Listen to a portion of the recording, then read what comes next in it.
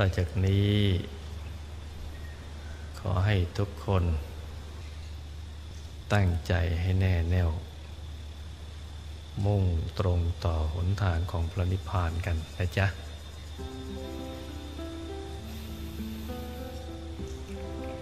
นั่งเอาขาขวาทับขาซ้าย มือขวาทับมือซ้าย ให้นิ้วชี้ของมือข้างขวาจะหลดนิ้วหัวแม่มือข้างซ้าย วางไว้บนหน้าตักพอสบายๆนะจ๊ะ หลับตาของเราเบาๆ พอสบาย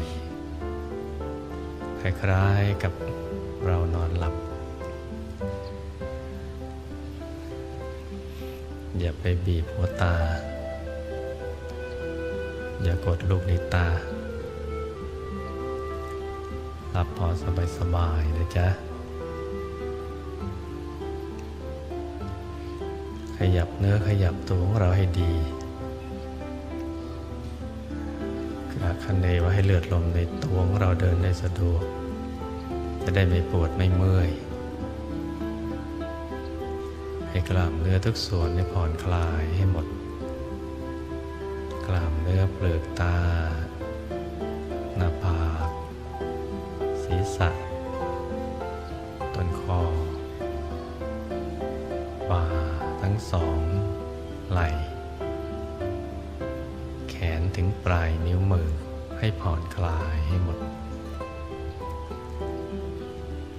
กล้ามเนื้อบริเวณลำตัว ขาทั้งสองถึงปลายนิ้วเท้า ให้ผ่อนคลายให้หมด ทั้งเนื้อทั้งตัวให้ผ่อนคลายนะจ๊ะ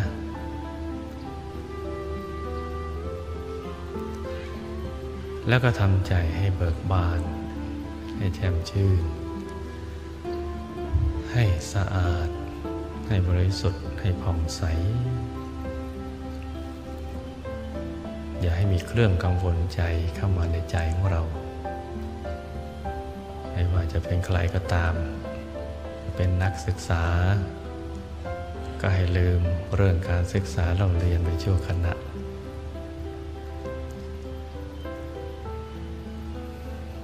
ท่านที่เป็นนักธุรกิจ ก็ให้ลืมเรื่องกังวลใจไปชั่วคราว ม้ว่าในใจของเราตอนนี้เนี่ยจะมีเรื่องที่ทำให้เราวิตกกังวล ก็ให้ลืมเรื่องนี้ไปชั่วขณะ ปัญหามีเราก็แก้กันไป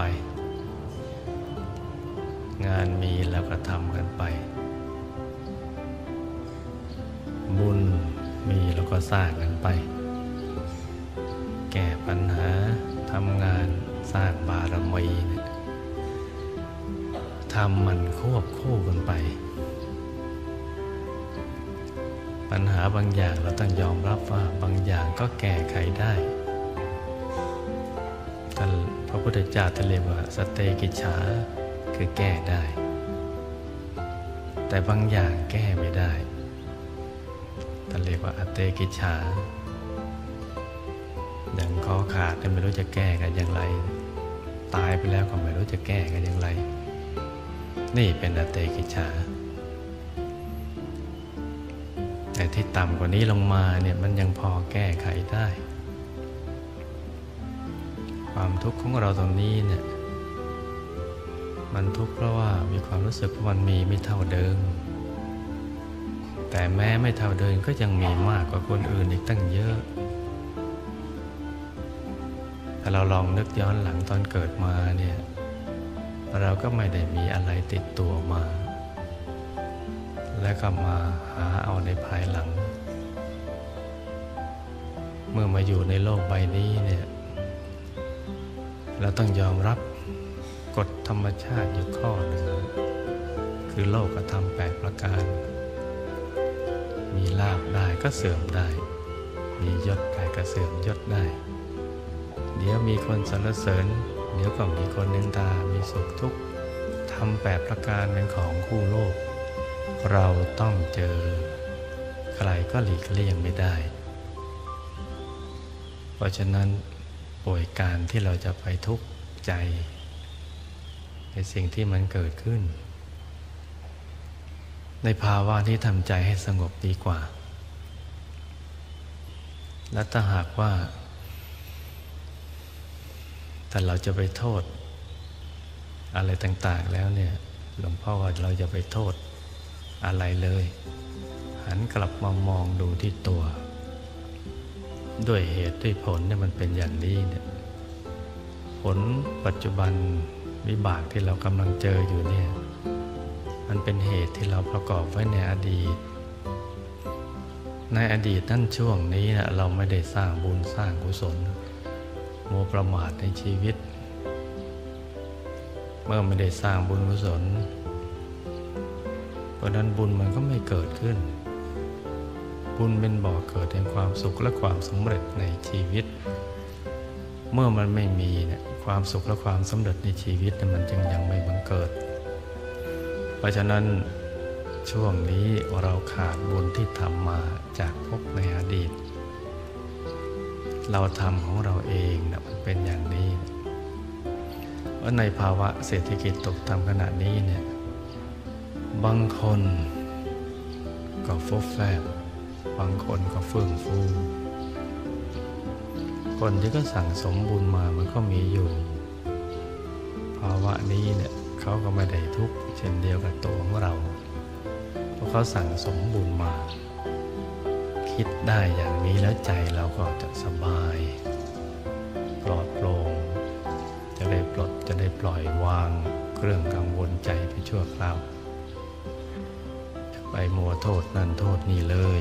หันกลับมามองดูตัวของเราดีกว่า ใจจะได้สบาย ใจสบายนี่แหละเป็นต้นทาง ที่จะเข้าถึงธรรมภายใน โดยเฉพาะเราเป็นนักสร้างบรมีเนี่ยจะต้องไม่หวั่นไหว ต่อโลกธรรมแปดประการ อะไรจะเกิดก็ช่างมัน เราก็จะสร้างบารมีของเราต่อไป พระบรมพุทธเจ้า คือพระพุทธเจ้าที่ท่านได้เข้าสู่อายตนะนิพพานเป็นองค์แรกๆ พระพุทธเจ้าเนี่ยท่านมีมากมายกายกองทีเดียว นับกันไม่ถ้วน เพราะว่าโลกนี้กับนี้เนี่ยมันตั้งกันมาตั้งแต่เมื่อไหร่เนี่ยยังไม่มีใครทราบ แต่ว่ามีกันมายาวนานทีเดียว บางกับก็มีพระพุทธเจ้ามาตัดสรุปพระองค์หนึ่ง บางกับก็สองพระองค์สามพระองค์ กับของเราเนี่ยมีถึงห้าพระองค์ เรียกว่าพัทรกับคือ กับที่มีความเจริญก็มีผู้มีบุญ มีบารมีเนี่ยมีใจแน่วแน่ ปรารถนาเป็นพระสัมมาสัมพุทธเจ้าโดยไม่เปลี่ยนแปลงมาหลายอสงไขยชาติมาตัดสรู้นะถึงห้าพระองค์กับไหนไม่มีพระสัมมาพุทธเจ้าบังเกิดขึ้นก็มีพระปัจเจกพระพุทธเจ้ามาบังเกิดขึ้น ราะฉะนั้นพระพุทธเจ้านะมีมากมายกายกองที่ท่านดับขันธปรินิพานเข้าไปสู่อายตนะนิพพาน นับไม่ถ้วนกันทีเดียว เพราะนับไม่ถ้วน จึงได้อุปมาเทียบเอาไว้กับเมล็ดทรายทรายหนึ่งกำมือเนี่ยถ้าเรามานับดู กว่าจะนับให้ครบทุกเม็ดได้ก็ใช้เวลานานเพราะก็นับกันไม่หวัดไม่ไหวแล้ว แต่ทรายในมหาสมุทรทั้งหลายเนี่ยมากมายกายกองขนาดนั้นที่เรานับกันไม่ไหวในแต่ละเม็ดยังน้อยกว่าพระสัมมาสัมพุทธเจ้า พระปัจเจกับพุทธเจ้า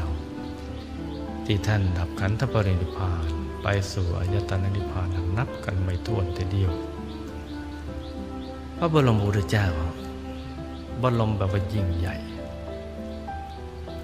บรมพุทธเจ้าคือพระพุทธเจ้าที่มีบรมีแก่ๆ ใหญ่ด้วยบรมี ใหญ่ด้วยพระวรกาย กายท่านโตใหญ่ ใหญ่ได้ความรอบรู้ ความบริสุทธิ์ทุกอย่าง พระบรมพุทธเจ้า เข้านิพพานไปเก่าๆแก่ๆนู่นซึ่ง เราจะรู้เห็นได้ก็ต่อเมื่อ เราได้เข้าถึงพระธรรมกายทำวิชาธรรมกายเป็น ธรรมกายพระธรรมกายท่านมีธรรมจักขุมีญาณทัศนะ ธรรมจักขุหรือดวงตาของท่านนั้นน่ะมองเห็นไปได้รอบทิศมีความบริสุทธิ์ เห็นในทุลุปลุโปร่งไม่มีอะไรกำบังได้ญาณทัศนะเครื่องรู้นี่ยคือเห็นไปถึงไหนก็รู้ไปถึงนั่นมีอยู่ในพระธรรมกาย ถ้าเรามีถ้าเราได้เข้าถึงพระธรรมกายทำวิชาเป็นแล้วนี่ ก็จะเกิดธรรมจักขุและญาณทัศนะจะไปเห็น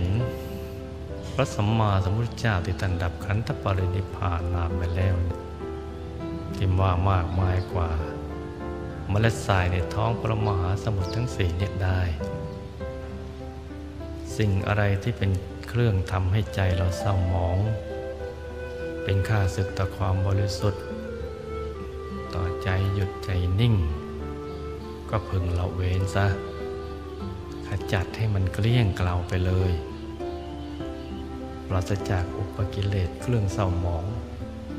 ปราศจากนิวรธรรม กามฉันทะพยาบาท อะไรเหล่านี้เป็นต้น คือความรู้สึกในกาม ในทรัพย์สมบัติต่างๆ ในความขุ่นมัวขัดเคืองใจ ความสงสัยลังเลเรื่อง รัตนตรัยเรื่องบุญกุศลเป็นต้น เรื่องบุญเรื่องบาป ดีได้ดีทำชั่วได้ชั่วนรกสวรรค์อะไรอย่างนี้ หยุดความสงสัยไปก่อน ความฟุ้งก็อย่าให้เกิด ความท้อก็อย่าให้มี ความโงกโงกซึมเศร้าก็อย่าให้มันบังเกิดขึ้น มันทำใจให้หยุดนิ่งรักษาใจของเรา เอาไว้ในกลางตัว ในศูนย์กลางกาย ซึ่งเป็นทางไปสู่อายตนะนิพพาน เป็นทางที่พระพุทธเจ้าพระอรหันต์เสด็จไปสู่อายตนะนิพพาน ไปอยู่ตรงต้นทางนั้นเถิด ใจของเราจะได้สะอาดบริสุทธิ์ผ่องใส จะได้เหมาะสม ที่จะรองรับบุญใหญ่ที่จะมันเกิดขึ้น อันที่จริง บุญที่จะบังเกิดขึ้นมีอยู่ทุกวัน ถ้าเรารู้จักวิธีการแสวงหาบุญ ให้ทานรักษาศีลเจริญภาวนาทำกายวาจาใจให้สะอาด บริสุทธิ์ผ่องใสพอใจผ่องใสเป็นกุศลบุญก็เกิดแล้ว สว่างทีเดียวติดอยู่ในกลางกาย เรามีบุญอย่างนี้ทุกวัน ใจของเราควรจะคิดกันอย่างนี้นะจ๊ะ มันจะได้มีปิติ มีความสุข มีความเบิกบาน ความบริสุทธิ์ของจิตก็จะบังเกิดขึ้น กระแสทานแห่งบุญก็จะพลั่งพลูกันออกมา ท่วมกายท่วมใจเรา เพราะฉะนั้น ตั้งแต่วันนี้เป็นต้นไปนะจ๊ะ ให้ใจของเรา เป็นบุญเป็นกุศลไปล้วนๆอย่าให้มีสิ่งอะไรเป็นเครื่องเศร้าหมองใจ ปัญหามีก็แก้ไปโดยสติปัญญา อย่าใช้อารมณ์ งานมีเราก็บริหารงานกันไป บุญมีเราก็สร้าง ไม่ว่าจะเป็นบุญอะไรก็แล้วแต่ บุญบูชาข้าวพระบุญบวชสมณเณรบุญสร้างมหา ธรรมกายเจดีย์สร้างพระธรรมกายประจำตัว อะไรเป็นบุญได้ ก็ทำเถิดนะจ๊ะ อะไรที่เราให้ได้ก็ควรจะให้ นักสร้างบารมีจะต้องมีหัวใจของการให้ ตั้งแต่ให้ความรักความปรารถนาดีต่อสรรพสัตว์ทั้งหลาย ให้อภัยในกรณีที่มี บุคคลใด ได้พลาดพลั้งล่วงเกินเรา ให้ทรัพย์สินเงินทอง ให้อาหารหวานข้าวเป็นต้น หรือให้โอกาส โอกาส แก่บางท่านที่พลังพลาดโดยไม่มีเจตนายืมเงินยืมทองกันไป ตั้งใจจะใช้ แต่มันเกิดวิกฤติการณ์อย่างนี้เข้า รู้จะทำอย่างไร ไม่ได้มีเจตนาอะไรเนี่ยที่จะไม่ใช้คืน ก็ให้โอกาสเขาหน่อยนะลุงนะหลวงพ่อก็พูดเผื่อเอาไว้ว่าถ้ามันจะมีเนี่ยยืดยืดสักหน่อย เราพี่น้องวงบุญเหมือนกันชาติที่แล้วไม่ได้สร้างทานบารมีมามาก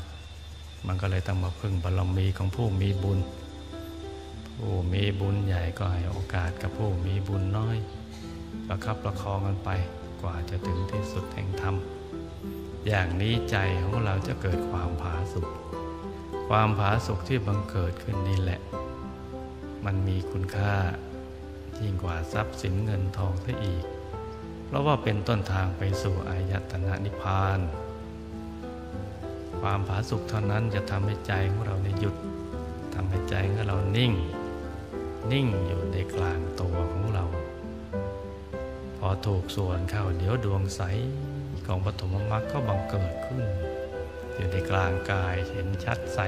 แจ่มทีเดียว ชัดเหมือนกับเราลืมตาเห็น พอใจเรานิ่งถูกส่วนเข้าไปในกลางปฐมมรรคพอถูกส่วนเข้าเดี๋ยวก็ขยายออกไปเรื่อยเลยดวงธรรมในตัวขยายมีดวงใหม่พูดเกิดขึ้นอีกแล้ว เป็นชั้นๆกันไป หกดวงกายหกดวงกาย คือมีทั้งหมดหกดวงแล้วก็ถึงกายต่างๆ ตั้งแต่กายมนุษย์ละเอียด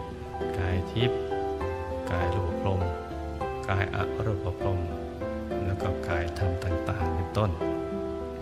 ทั้งดวงธรรม ทั้งกายภายในและพระธรรมกาย ล้วนมีอยู่แล้วในตัวของพวกเราทั้งหลายนะจ๊ะ ไม่ใช่ว่าเราไปปรุงแต่งมันขึ้นมา แต่มันมีอยู่แล้ว แต่เราไม่ทราบว่ามันมี หรือบางท่านทราบว่ามีแต่ยังเข้าไปไม่ถึง เพราะฉะนั้นก็เลยยังไม่มั่นใจ แต่จริง ๆ แล้วยังมีมีอยู่ มีมาตั้งดังเดิมแล้วเป็นผังสำเร็จมานานทีเดียว เป็นกายต่างๆที่ซ้อนๆกันอยู่ภายใน มีความละเอียดที่แตกต่างกันออกไป กายที่ละเอียดกว่าก็ซ้อนอยู่ในกายที่หยาบกว่า ซ้อนกันไปเป็นชั้นชั้นชั้นชั้นกันไปเรื่อยๆ ทีเดียว แต่ละกายแต่ละดวงธรรมก็โตใหญ่หนักยิ่งขึ้นไปตามลำดับ จะเข้าถึงได้ใจต้องหยุดนิ่ง หยุดนิ่งอย่างเดียว อย่างสบายๆ พอถูกส่วนเข้าเดี๋ยวก็เข้าถึงนะจ๊ะ เพราะฉะนั้น ความผาสุกนี่เป็นสิ่งที่ยิ่งใหญ่ทีเดียวแต่ใจผาสุกได้ก็จะเข้าถึงสิ่งเหล่านี้ เกิดมาถ้าเข้าไม่ถึงพระรัตนตรัยเนี่ยมันก็เสียเวลาเกิด เพราะเราไม่รู้จักว่าอะไรคือสรณะที่เป็นที่พึ่งที่ระลึกของเราอย่างแท้จริง เมื่อไม่รู้จักว่าอะไรเป็นที่พึ่งที่ระลึกอย่างแท้จริง ก็ต้องไปแสวงหาที่พึ่งสเปะสปะ ยามเมื่อชีวิตประสบทุกข์ และชีวิตที่อยู่ในโลกนี้เนี่ยล้วนแต่ประสบทุกข์ทั้งสิ้น ไม่มีใครที่ไม่เคยเจอความทุกข์เลย ถ้าหากว่าเราไม่รู้ว่าอะไรเป็นที่พึ่ง มันก็จะสเปะสปะ ไปพึ่งต้นไม้มั่งภูเขามั่งจอมปลวก ผู้วิเศษอะไรต่างๆ แทนที่จะหันกลับเข้าไปสู่ตัวของเรา เข้าไปถึงที่พึ่งที่แท้จริงที่อยู่ภายใน เพราะฉะนั้นถ้าเกิดมาเป็นมนุษย์ เข้าไม่ถึงพระรัตนตรัยในตัว เกิดมาชาตินี้ก็หมดเวลาไปเปล่าๆตายฟรีนะจ๊ะ เพราะฉะนั้นเราจะต้องเข้าถึงให้ได้ ถ้าเข้าถึงแล้วชีวิตก็ปลอดภัย มีความสุขตั้งแต่ทันทีที่เข้าถึง ความสุขที่พูดไม่ออกบอกไม่ถูกทีเดียว ไม่ทราบว่าจะเอามาเปรียบเทียบกับอะไรได้ สุขจากการมีทรัพย์ สุขจากการที่ได้ใช้จ่ายทรัพย์ หรือสุขจากการที่ไม่เป็นหนี้เทียบไม่ได้เลยกับความสุข พียงนิดเดียวที่เข้าถึง พระรัตนตรัยภายในพอเข้าถึงแล้วความสุขก็เป็นอิสระกว้างขวางใหญ่โตทีเดียว กายเบา ใจเบา มีความปิติ มีความเบิกบาน ใจขยายออกไปไม่มีขอบเขตทีเดียว เมื่อเข้าถึงแล้วสุขก็เกิดขึ้นทันทีที่เข้าถึง และยังปลอดภัยในชีวิตอีก แม้ละโลกไปแล้วก็ยังนำไปสู่สุคติภูมิ ไปสู่สุคติโลกสวรรค์ ปิดประตูอบายได้ ภายในสังสารวัตรทำอันตรายผู้ที่ข้าวถึงธรรมกายไม่ได้พระเจ้าพระธรรมกายอยู่ในตัวของเรานี่แหละเป็นที่พึ่งที่ระลึกที่สำคัญ จะต้องเข้าถึงให้ได้นะจ๊ะ ให้ทุกคนทำใจให้หยุดนิ่ง ให้เข้าถึงพระรัตนตรัยในตัวให้ได้ทำใจให้หยุดจ้ะให้สมมติว่ามีเส้นได้สองเส้นนำมาขึงให้ตึง เส้นหนึ่งขึงจากสะดือทะลุไปด้านหลัง อีกเส้นหนึ่งขึงจากด้านขวา ทะลุไปด้านซ้าย ให้เส้นได้ทั้งสองตัดกันเป็นกากบาท จุดตัดเล็กเท่ากับปลายเข็ม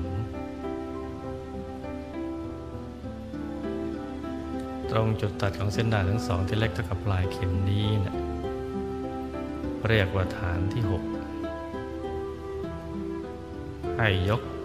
ใจถอยหลังขึ้นมาสองนิ้วมือ โดยสมมติเอานิ้วชี้กับนิ้วกลางวางซ้อนกัน แล้วนำไปท่าตรงจุดตัดของเส้นด้ายทั้งสอง สูงขึ้นมาสองนิ้วมือ เรียกว่าฐานที่เจ็ดสูงขึ้นมาสองนิ้วมือเรียกว่าฐานที่เจ็ดเป็นฐานที่ตั้งของใจเรานะจ๊ะ ที่สำคัญที่สุดทีเดียว ให้เอาใจมาหยุดอยู่ตรงฐานที่เจ็ดตรงนี้ ให้ได้ตลอดเวลา ให้ใจมันหยุดอยู่ตรงนี้นะจ๊ะ โดยกำหนดเครื่องหมายกำหนดเครื่องหมาย ถ้าไม่กำหนดเครื่องหมายนี่เราไม่รู้ว่าฐานที่เจ็ดอยู่ตรงไหน เครื่องหมายกำหนด ต้องเป็นของใสๆนะจ๊ะ หลวงพ่อวัดปากน้ำวัดศรีเจริญให้กำหนด เครื่องหมายให้ใสสะอาด ให้บริสุทธิ์สะอาดด้วยบริสุทธิ์ด้วยประดุดเพชรลูกที่เจรไนแล้ว ไม่มีขีดข่วนคล้ายขนแมว โตเท่าแก้วตานี่ท่านในกำหนดตรงนี้นะ เป็นเครื่องหมาย เป็นเพชรลูก เป็นเครื่องหมายตรงนี้ แต่ถ้าใครน่ะนึกไม่ออกนะ จะนึกถึงพระแก้วขาวใสบริสุทธิ์ แทนพระสัมมาสัมพุทธเจ้าก็ได้ หรือจะนึกถึงดวงแก้วขาวใสบริสุทธิ์ กลมรอบตัว แทนพระธรรมคำสอนก็ได้ หรือจะนึกถึงหลวงพ่อวัดปากน้ำภาษีเจริญ นสังฆรัตนะก็ได้ อย่างใดอย่างหนึ่งนะจ๊ะ เป็นเครื่องหมายที่หยุดใจของเรา น้อมมาตั้งไว้ที่ศูนย์กลางกายฐานที่เจ็ดใหญ่เล็กแล้วแต่ใจเราชอบนะจ๊ะแต่หากว่านึกขนาดใหญ่แล้วสบายใจ ใจสบายการนึกขนาดใหญ่ ถ้าหากว่านึกขนาดเล็กแล้วสบายใจก็นึกขนาดเล็ก ใหญ่เล็กแล้วแต่ตัวของเรานะจ๊ะทั้งหมดนี่แหละเป็นเครื่องหมายที่ยึดที่เกาะของใจเรา เราจะได้รู้ว่าฐานที่เจ็ดอยู่ที่ตรงไหน ถ้าเป็นองค์พระก็นึกให้ท่านหันหน้าออกไปทางเดียวกับตัวของเรา ถ้าเป็นดวงแก้วก็ให้เป็นดวงแก้วกลมใสๆอยู่ในกลางกลางกายตรงฐานที่เจ็ด ถ้าเป็นหลวงพ่อวัดปักน้ำจะนึกว่าท่านหล่อที่ทองก็ได้ หรือทำด้วยแก้วใสๆก็ได้นะจ๊ะอย่างใดอย่างหนึ่งก็นึกไป หรือจะนึกเป็นเครื่องหมายให้ใสสะอาดประดุดเพชรลูก อยู่ตรงฐานที่เจ็ดก็ได้ อย่างใดอย่างหนึ่งได้ ทั้งนั้นเป็นบริกรรมนิมิตที่ยึดที่เกาะของใจเรานะจ๊ะ ให้นึกอย่างสบายสบาย นึกอย่างสบาย ให้ต่อเนื่องกันไปเลย อย่าให้เผลอ พร้อมกับภาวนา สัมมาอรหัง สัมมาอรหัง สัมมาอรหัง สัมมาอรหังอย่างนี้นะภาวนากันไปเรื่อยๆ ใจเย็นๆทุกครั้งที่ภาวนาสัมมาอรหังก็จะตั้งนึกถึงบริกรรมนิมิต ทุกครั้งที่นึกถึงบริกรรมนิมิตตั้งไม่เผลอต้องภาวนาสัมมาอรหังควบคู่กันไปด้วย จะภาวนากี่ครั้งก็ได้ กี่สิบกี่ร้อยกี่พันกี่หมื่น กี่แสนครั้งก็ภาวนาไปเถอะ แต่อย่าเผลอ อย่าให้ใจไปคิดเรื่องอื่นนะ คิดถึงแต่บริกรรมนิมิตดังกล่าวแล้วนั่นแหละ บริกรรมนิมิตกำหนดใหม่ๆมันจะยังไม่ชัดเจนก็ไม่เป็นไรโลัวๆลางๆ คุมๆคำๆก็นึกกันไปอย่างนั้น เพื่อไม่ให้ใจเผลอไปคิดเรื่องอื่นเพราะคิดเรื่องอื่นมันจะทำให้ใจไม่บริสุทธิ์ ไม่หยุดไม่นิ่ง แต่ถ้าคิดถึงบริกรรมนิมิตดังกล่าวแล้ว จะทำให้ใจใส บริสุทธิ์ และก็หยุดนิ่งอยู่ภายใน หยุดนิ่ง พอถูกส่วนเข้า เดี๋ยวเราก็เข้าถึงวัตถุมุมักได้นะจ๊ะนึกอย่างนี้เรื่อยไป นึกไปเรื่อยๆส่วนบางท่านที่ไม่ถนัดในการนึก อยากวางใจนิ่งเฉยๆแล้วก็ภาวนาสัมมาอรหังสัมมาอรหังอย่างเดียวอย่างนี้ก็ได้นะ จ๊ะภาวนาไปเรื่อยๆทำใจสบายๆ ใจเย็นๆทำอย่างนี้นะ ต่างคนต่างทำกันไปเงียบๆนะจ๊ะ จะนึกนิมิตก็ได้ หรือไม่ถนัดก็วางใจเฉยๆแล้วก็ภาวนา สัมมาอรหังอย่างนี้ไปเรื่อยๆนะจ๊ะ จนกว่าจะถึงเวลาอันควรต่างคนต่างทำกันไปเงียบๆนะจ๊ะ อย่าลืมตา อย่าพูดอย่าคุยกัน ให้ใจนิ่งๆ ให้ใจใส ให้ใจบริสุทธิ์ สัมมาอรหัง สัมมาอรหัง สัมมาอรหัง สัมมาอรหัง สัมมาอรหัง ให้เสียงดังออกมาจากในกลางท้องนะ ภาวนาไปเรื่อยๆนะจ๊ะ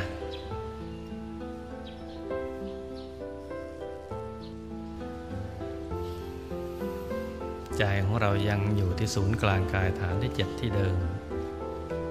ให้ใจของเราหยุดให้สนิททีเดียว ใครที่ยังเข้าไม่ถึงดวงธรรมก็เอาใจหยุดไปในกลางกาย ฐานที่เจ็ดอย่างสบายๆนะจ๊ะ รที่เข้าถึงดวงธรรมแล้ว ก็เอาใจหยุดไปที่กลางดวงธรรม ที่ใสบริสุทธิ์อยู่ในกลางกาย นิ่งๆนะ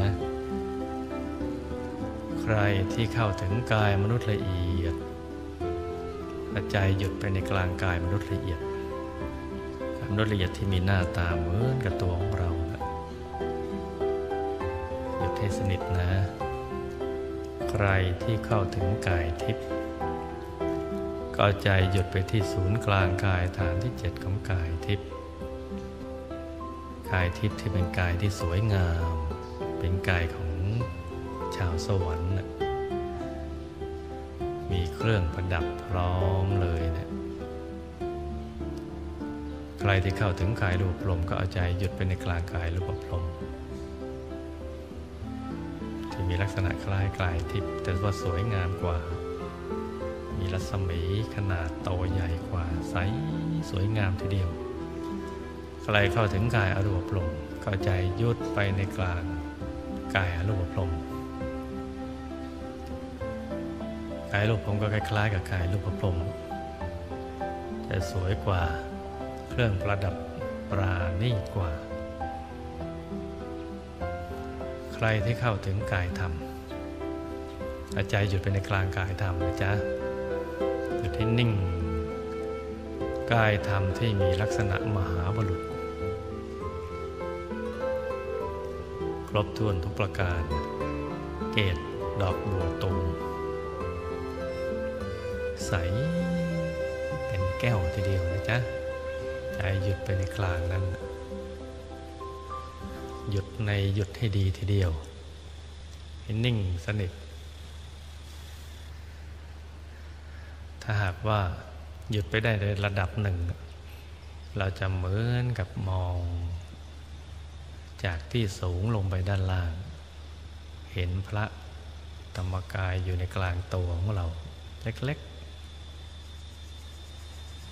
ถ้าหยุดไปอีกระดับหนึ่ง ก็โตใหญ่หนักขึ้น เป็นตัวของเราเลย เป็นนันหนึ่งกันเดียวกันเลย ถ้าหยุดได้สมบูรณ์นะเรากับท่านเนี่ยจะเป็นนั้นหนึ่งกันเดียวกันเลย เราจะเป็นท่านท่านก็จะเป็นเรา เกลืนกันไปเลย ทั้งธาตุธรรมเห็นจำคิดรู้กายใจจิตวิญญาณเป็นนันเดียวกันไปหมดเลย บริสุทธิ์สิ่งที่ต้องการคือให้เป็นอันเดียวกัน จะเป็นอันเดียวกันได้ต้องหยุดสนิททีเดียวนะจ๊ะหยุดนิ่งสนิทพอถูกส่วนก็พลึบเป็นอันหนึ่งอันเดียวกันเลย แล้วก็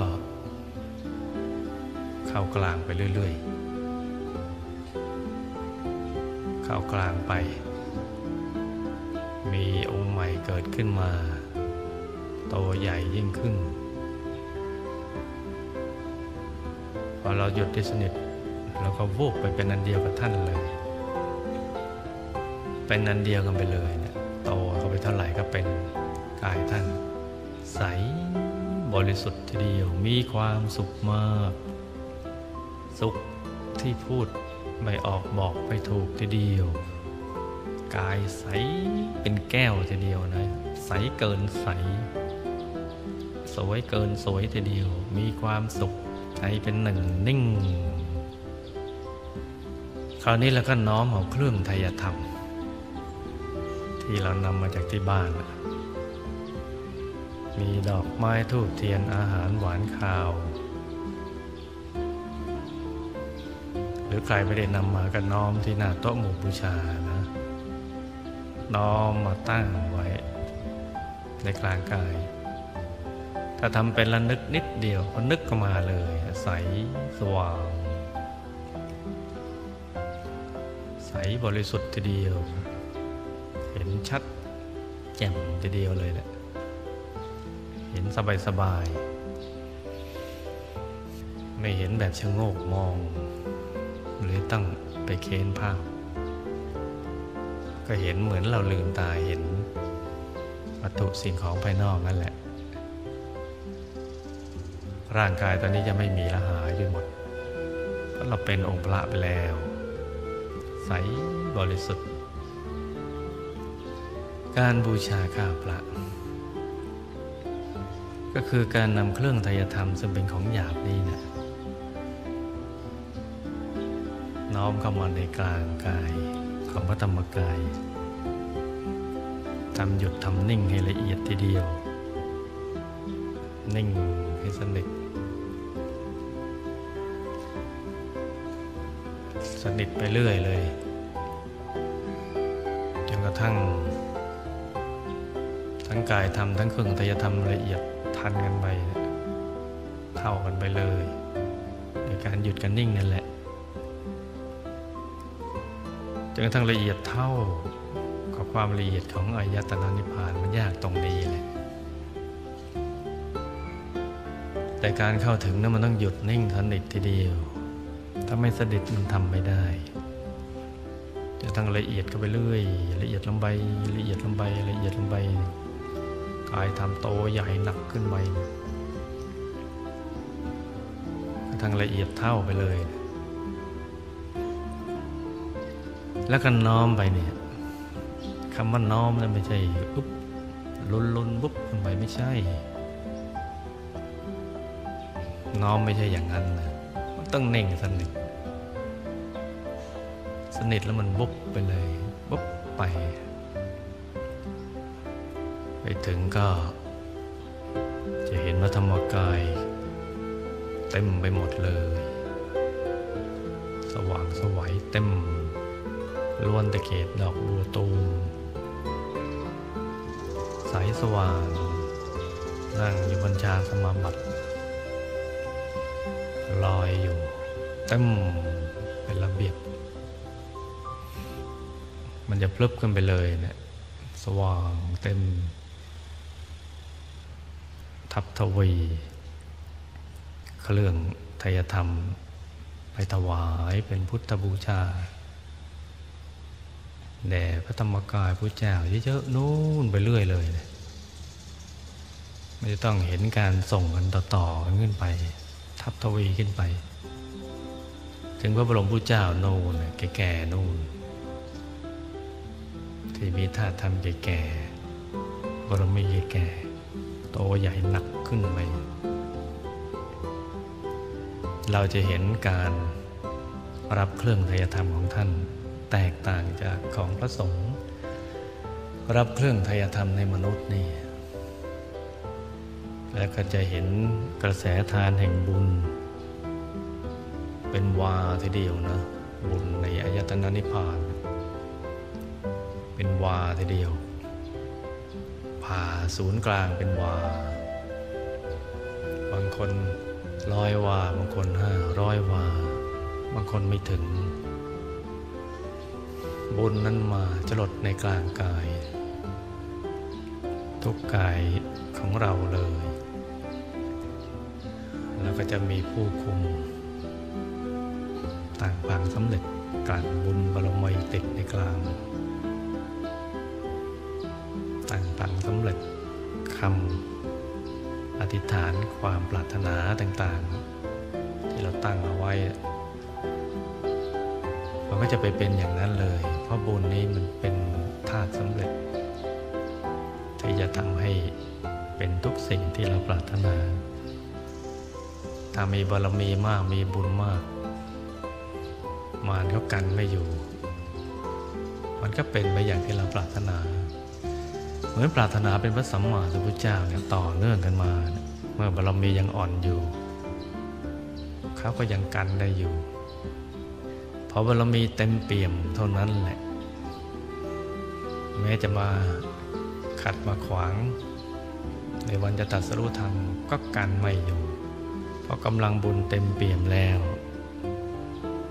ขยายเต็มเปี่ยมทีเดียว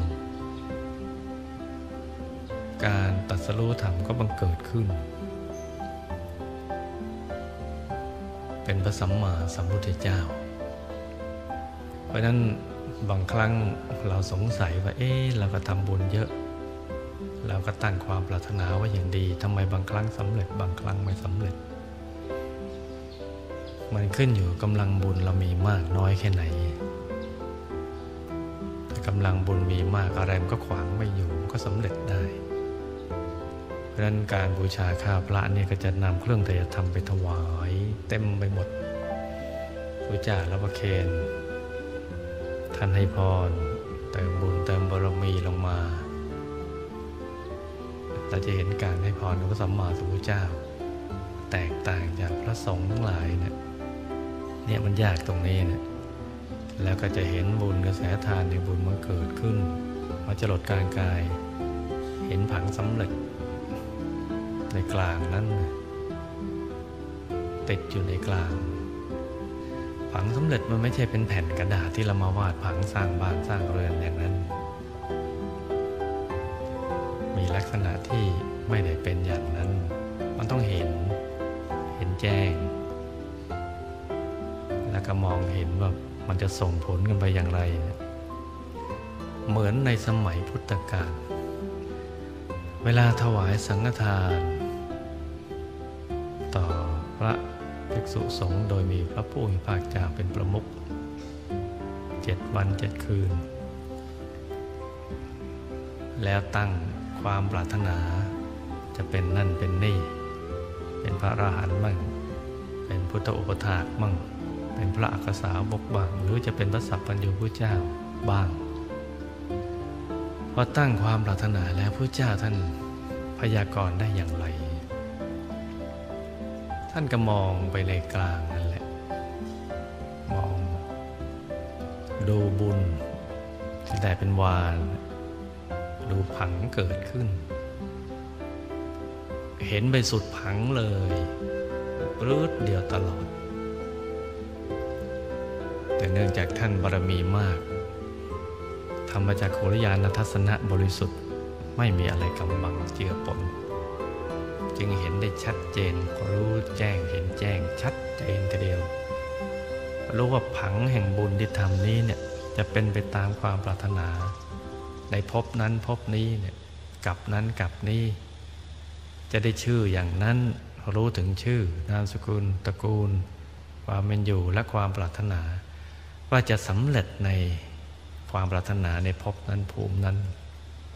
เห็นชัดแล้วท่านก็เอามาพูด ว่าสิ่งที่เธอตั้งความปรารถนานั้นจะสำเร็จ ในภพนั้นภพนี้เมื่อเจอพระผู้มีพระภาคเจ้า ที่จะมาตัดสรุในอนาคตการภายภาคเบื้องหน้า ทรงมีพระนามว่ามีพระอักษาวกคู่นั้นชื่อว่าอะไร พุทธอุปชาชื่อว่าอะไรกับนั้นชื่อว่าอะไรเธอจะเกิดในตระกูลนั้น มีชื่อว่าอย่างนั้นและจะสมความปรารถนาอย่างนั้น ก็เห็นไปตามผังอย่างนี้แหละ วิชาธรรมกายจึงดีอย่างนี้ เป็นวิชาของพระสัมมาสัมพุทธเจ้าโดยตรงทีเดียว มีอยู่ในตัวของเรานี่แหละ ที่หลวงพ่ออยากจะให้ ลูกๆทุกๆ คนทั้งภายในต่างประเทศทั่วโลกได้เข้าถึงกัน จะได้ไปรู้ไปเห็นกัน ของจริงจังกันจะมีอย่างนี้พิสูจน์ได้เมื่อใจหยุดพิสูจน์ไม่ได้เมื่อใจอยาก ใจมันไม่หยุดก็พิสูจน์ไม่ได้ อใจหยุดก็พิสูจน์ได้ ชัดแจ่มทีเดียวหายสงสัย เพราะฉะนั้นสิ่งทุกอย่างเนี่ยที่มีปรากฏในพระไตรปิฎกสามารถพิสูจน์ได้โดยวิชาธรรมกาย ถ้าเราได้เข้าถึงธรรมกายหยุดได้สนิท จะศึกษาอะไรก็ได้ทั้งนั้นว่าทำดีได้ดีทำชั่วได้ชั่วกฎแห่งกรรมการเวียนว่ายแต่เกิดภพภูมิต่างๆ นรกสวรรค์นิพพาน จักรวาลอะไรต่างๆ การระลึกชาติ มีอยู่ในตัวของเราในวิชาธรรมกายนี่แหละ วิชาก็แปลว่าความรู้ที่เกิดจากการเห็นแจ้ง ซึ่งมีอยู่ในธรรมกาย จะเห็นแจ้งได้เพราะมีธรรมจักขุจะรู้แจ้งได้เพราะมีญาณทัศนะ เป็นการรู้เห็นที่แตกต่างจากการรู้เห็นโดยตามนุษย์ ที่พรหมรูปพรมโดยสิ้นเชิง เหนือวิสัยของตักกะการนึกคิดด้นเดาคาดคะเนหรือปรัชญาอะไรต่างๆเหล่านั้น เพราะเป็นวิสัยของการเห็นแจ้งอย่างเดียว จึงจะรู้แจ้ง เพราะฉะนั้นถ้าถึงณจุดนี้เราก็จะเห็นอย่างนี้หลวงพ่อจะมีความปรารถนาอยากให้ทุกคนทั้งโลกเลย ได้เข้าถึงตรงนี้ และเพราะความปรารถนาอย่างนี้แหละ จึงได้สร้างทั้งสามสิ่งที่ขึ้นมา สร้างมหาธรรมกายใจดีสภาธรรมกายสากล มหาวิหารพระมงคลเทงมุนีสร้างทั้งสามสิ่งอันนี้แหละ เพื่อจะเป็นจุดที่จะเชื่อมโยงทุกๆ คนในโลก ให้เข้าถึงวิชาธรรมกายที่มีอยู่ในตัวของเรา ใครที่มีส่วนอย่างสำคัญ ในการที่ ช่วยสร้างสามสิ่งได้สำเร็จ ไม่ว่าตะปูสักตัว อิฐสักก้อนไม้สักแผ่น ถือว่าเป็นอสัตทิสถานทีเดียว ทานที่ไม่มีใครเสมอเหมือน เพราะได้ชื่อว่า ช่วยสร้างโลกให้สว่างสวัยด้วยแสงธรรมทำให้ทุกคนได้เข้าถึงวิชาธรรมกายได้รู้แจ้งเห็นแจ้งแทงตลอดในสรรพสิ่งทั้งหลายด้วยตัวของตัวเอง บุญอะไรจะมาวิเศษเท่าตรงนี้ ที่ทำให้ทุกคนเนี่ยดำเนินชีวิตที่ถูกต้อง ได้เข้าถึงวิชาธรรมกาย อิฐสักก้อน ไม้สักแผ่น ตะปูหนึ่งตัว เป็นอสถิสถานทั้งสิ้น เพราะฉะนั้นเมื่ออุทิศตนสร้างสามสิ่งนี้ด้วยชีวิต ในยามยาก มหากุศลที่ยิ่งใหญ่อย่างจะนับจะประมาณไม่ได้จึงบังเกิดขึ้น ให้ดีใจเอาไว้เถิดนะลูกนะ ว่าสิ่งที่ได้ทำไปนั้นน่ะมันเป็นสิ่งที่ประเสริฐเลิศที่ใครๆยากจะทำอย่างนี้ แม้เทวดาที่อยู่บนสวรรค์มีกายละเอียด ยังมีความปรารถนาอยากที่จะมาเป็นลูกๆทุกๆ คนอย่างนี้แหละมีกายมนุษย์ไปสร้างบารมีเพราะเป็นกายละเอียดแล้วมันสร้างไม่ได้ได้แต่เสวยผล เขาอยากจะมาเป็นอย่างเรา เพื่อที่จะได้สร้างบุญใหญ่กันขนาดนี้ทีเดียว เรามีโอกาสดีกว่าท่านเหล่านั้น ทุ่มชีวิตเถิดนะลูกนะ อย่าไปกลัวความยากลำบากทำมันให้มันเต็มกำลังเลยสุดชีวิตเลย สุดใจเลย ให้สารสิ่งนี้มันสำเร็จเป็นอัศจรรย์ให้ได้ แล้ววันนั้นเราจะมาพร้อมใจกัน เพื่อระลึกนึกถึง สิ่งที่เราทำมาด้วยความยากลำบาก ด้วยความปิติ ความภาคภูมิใจ ด้วยหัวใจของยอดนักสร้างบารมี อย่างมีความสุข ไม่ว่าจะอยู่ในสถานที่ไหน จะอยู่บนเตียงคนป่วย จะใกล้มรณะภัย ใจก็ยังมีความสุขจะอยู่ในป่าในเขาที่ทุรกันดารทุกคนทุกแห่งมีปิติสุขทั้งนั้น เพราะบุญที่เราทำนั้นทำด้วยหัวใจด้วยชีวิตจิตวิญญาณทุกอย่างในยามยาก และสิ่งนี้ก็จะเป็นประวัติศาสตร์ ให้ลูกหลานได้ศึกษา ได้เพิ่มปิติยินดีได้คุณงามความดีที่เราทำเอาไว้ เทวดาพรหมลูกผมก็จะอนุโมทนาสาธุการสรรพสัตว์ทั้งหลายที่มีตาที่ผูทิพย์เห็นแล้วก็ชื่นใจ และยังส่งต่อไปในภพเบื้องหน้าทำกันครั้งหนึ่งครั้งเดียวเนี่ยให้สำเร็จ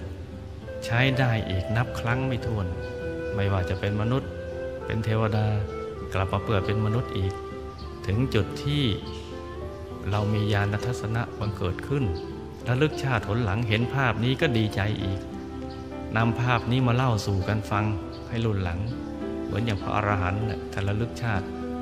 ที่เรียกว่าอปทานของท่านทานในอดีตของท่านที่ทำมานะยังมาเล่าสู่กันฟังเป็นกำลังใจให้พวกเราปัจจุบันนี้เลย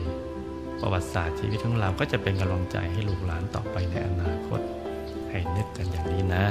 เมื่อเข้าใจอย่างนี้ดีแล้ว ต่อจากนี้ไปก็นึกจุดนิ่ง น้อมใจให้ใสบริสุทธิ์ เครื่องไตรธรรมถวาย แด่พระสัมมาสัมพุทธเจ้าทุกๆพระองค์ และก็กราบขอบุญบารมีและสมีกำลังฤทธิ์อำนาจสิทธิเกียรขาดรูปสมบัติทรัพย์สมบัติคุณสมบัติลาบยศสรรเสริญสุขมรรคผลนิพพานวิชาธรรมกายบังเกิดขึ้นกับพวกเราทุกคน ให้ผลบุญนี้เป็นผลบุญปัจจุบันทันตาเห็น ที่จะช่วยขจัดทุกโศกโรคภัยพิบัติต่าง ๆ ให้ละลายหายสูญให้ ที่จะเชื่อมโยงสมบัติมหาสมบัติให้พวกเรามาใช้สร้างบารมีอย่างไม่รู้จักหมดจากสิ้น ใครที่เจ็บใครได้ป่วยกระบุญนี้หล่อเลี้ยงรักษาสังขารให้หายเจ็บหายป่วยให้ไข้ให้มีอายุขัยยืนยาวได้สร้างบารมีเป็นนานๆ ใครที่ประกอบธุรกิจการในงานก็ให้ประสบความสำเร็จเจริญรุ่งเรือง อุปสรรคก็ให้ละลายหายสูญไปให้หมดใครเป็นนักศึกษาก็ให้ศึกษาเราเรียนสำเร็จสมความปรารถนา จะสอบเข้ามหาวิทยาลัยก็ให้เข้าได้เป็นอัศจรรย์ที่ทอะไรก็ให้สมความปรารถนา อธิษฐานจิตกันอย่างนี้ทุกๆคนนะจ๊ะ